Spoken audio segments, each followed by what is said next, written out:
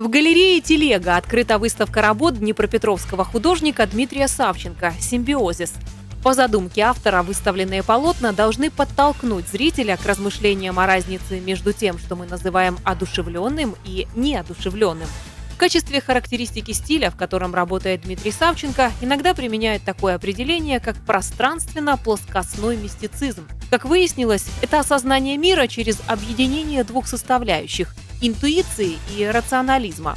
А увидеть вживую работы Дмитрия Савченко можно до 23 октября в галерее «Телега» на Короленко, 15.